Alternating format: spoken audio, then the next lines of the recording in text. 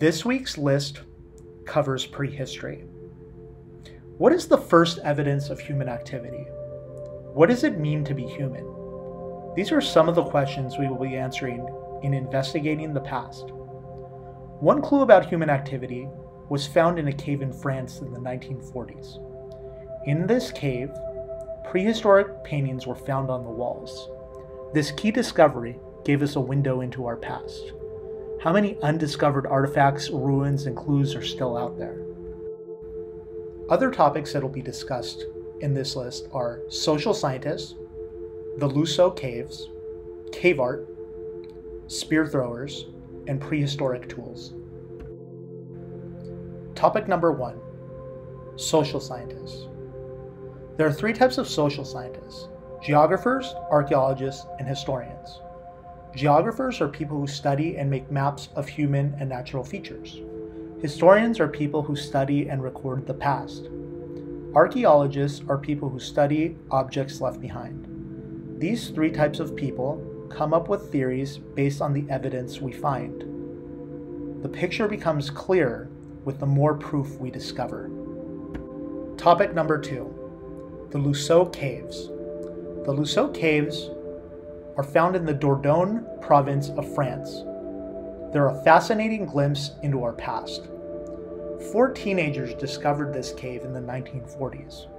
The cave shows us some, some of the animals that were important to humans in the past. These were probably animals that humans hunted. In it, we see horses and bulls. Lamps for lighting using animal fat are some of the artifacts that have been found in this cave. Similar caves have been found in India and Argentina, and this helps us understand our prehistory and unlock more clues. Topic 3 Cave Art. What other types of art exists in caves? Handprints have been found in some caves. This shows that humans were probably smaller than they are today, or that children painted them. Hunting scenes are also a popular theme as well as shapes and patterns. This also proves what type of weapons were used by early hunters. Were these early paintings trying to capture the magical powers of the animals? Or was it just for decoration or maybe even boredom? Is art and creativity what makes us human? Topic 4 The Spear Thrower.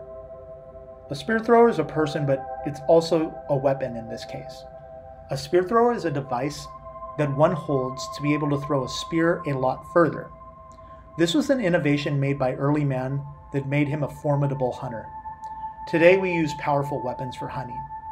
Imagine trying to take down a bear, a bison, or a moose with a simple spear. If you YouTube some of these animal attacks, you will know that the prehistoric world was a very dangerous place for humans. These are not cuddly creatures that want to be your friends.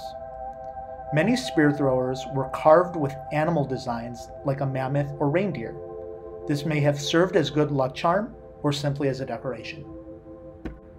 The last topic on the list is prehistoric tools. Prehistoric tools include grinding stones, scrapers, axes, and minerals for painting. Paint was made by mixing minerals with animal fat or vegetable oil.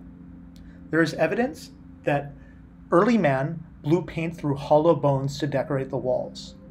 Early man might have also used moss, fur, and reeds to make paintbrushes. We have come a long way since its prehistoric tools and weapons. To review this peppy list, we covered social scientists, the Lascaux caves, cave art, the spear thrower, and prehistoric tools. What else would have you included on this list?